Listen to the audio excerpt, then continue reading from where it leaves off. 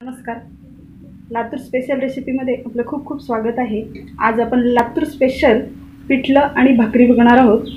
त्याच्यासाठी आपल्याला लागणारं साहित्य आहे तीन वाटी बेसन दोन चमचे लसूण हिरवी मिरचीचा ठेचा तीन टेबलस्पून तेल एक टेबलस्पून जिरं मोहरी थोडेसे जिरा पावडर अर्धा चमचा हळद चवीपुरतं मीठ दोन मोठे कांदे कापलेले दोन मोठे टोमॅटो दहा ते बारा कढीपत्ता थोडंसं कोथिंबीर एक चमचा लसूणची पेस्ट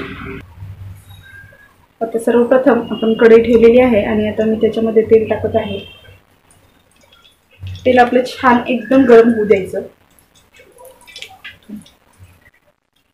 आता आपलं तेल छान गरम झालेलं आहे. मी त्याच्यामध्ये जिरा आणि मोहरी टाकून घेत आहे. जिरा आणि मोहरी आपली पूर्णपणे तडतडू द्यायची. आणि मगच त्याच्यामध्ये कांदा टाकायचा. आता मी त्याच्यामध्ये कांदा टाकत आहे.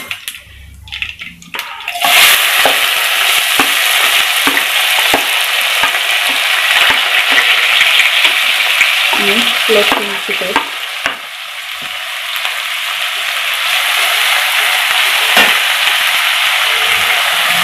लसूण तुम्ही ठेचून सुद्धा घेऊ शकता. त्याच्यामुळे पण खायला छान लागते. आता आपला कांदा हल्ला झालेला आहे. लसूण आणि अद्रक हे पण छान तांबूस रंग पर्यंत परतलेला आहे. आता आपण याच्यामध्ये हिरवा मिरची आणि लसूण याचा टेस्ट ठेचा टाकणार आहोत. हा ठेचा तुमच्या टेस्टनुसार टाका. म्हणजे ज्यांना तिखट हवं असेल त्यांनी जास्त टाका.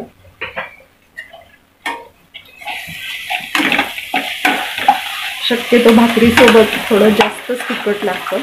म्हणजे जास्त मिरची टाकायला लागते.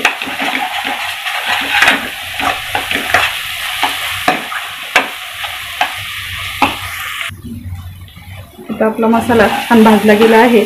आपण त्याच्यामध्ये हळद टाकून घेऊया. थोडंसं मीठ. परत एक मिनिट भरत परतून घ्यायचं.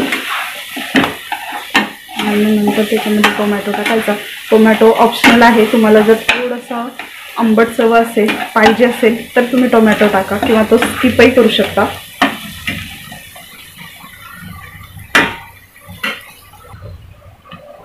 आता आपल्या मसाल्यामध्ये मी टोमॅटो टाकत आहे.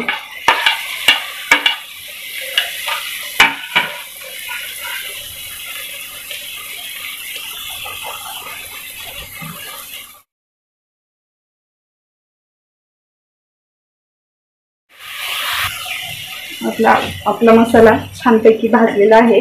आपण त्याच्यामध्ये पाणी टाकून घ्यायचं आहे.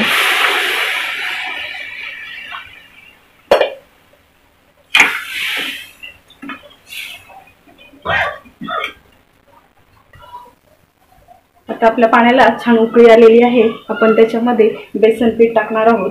हे बेसन पीठ तुम्ही अगोदरच पाण्यामध्ये भिजून घेतलं तरीही चालतं किंवा डायरेक्टली टाकलं तरीही चालतं.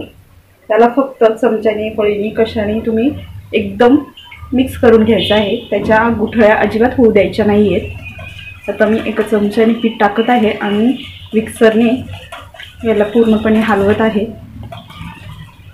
पाण्यात भिजवून टाकण्यापेक्षा ह्या पिठा त्या पिठाला चव खूप छान लागते. आता आपलं पिठलं छान मिक्स झालेलं आहे. आणि छान शिजलं पण आहे. त्याला एक जस्ट पाच मिनटं तुम्ही छान गॅसवर शिजवून घ्या. त्यामुळे त्याची टेस्ट खूप छान लागते. पिठलं हा कॉमन प्रकार आहे आमच्या इकडे. आठवड्यातनं एक ते दोन वेळा कंपल्सरी बनलंच जातं. घरामध्ये कुठलीही भाजी नसेल तर आमच्याकडे ऑलरेडी पिठलं बनलेलंच असतं. आता आपलं पिठलं शिजलेलं आहे. त्याच्यावरती मी छान कोथिंबीर पेरून घेत आहे. अगदी पाच ते दहा मिनटामध्ये आपलं पिठलं रेडी आहे. ते तुम्ही भाकरी किंवा चपातीसोबत कशासोबतही खाऊ शकता. खायला एकदम छान लागतं.